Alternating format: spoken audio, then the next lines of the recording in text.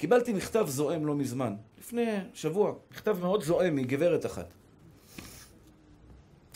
היא בהתחלה התחילה לקרוא שהיא שומעת את השיעורים שלי, אבל היא מאוד כועסת עליי.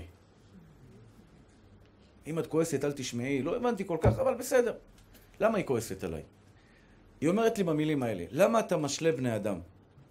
למה אתה משלה אנשים ואומר להם שאפשר לצאת מזה? אני סובלת מזה כל כך הרבה שנים, ואי אפשר לצאת מזה. ככה היא כתבה לי במכתב. אני סיפרתי שהייתי פעם בפנים ויצאתי מזה, שזה עובר וזה בסדר וזה בר שליטה ואפשר לתקן את זה והנפש שלנו היא, היא כמו גוף שמרפא את עצמו והכל בסדר והיא כועסת עליי למה אני משלה את האנשים. עכשיו שימו לב, האישה הזאת, אני לא כועס עליה ואני מבין אותה לגמרי, זו בדיוק הבעיה. כשאין, כשיש ייאוש, כשאין אמונה, אין תרופה.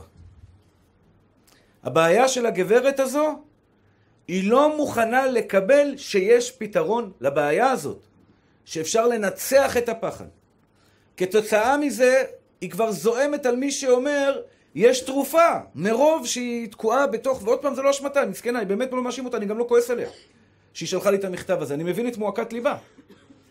אבל עיקר עיקר הפחד, עיקר הפחד שהיצר הרע מצליח להשריש בך, אולי זה לא יעבור.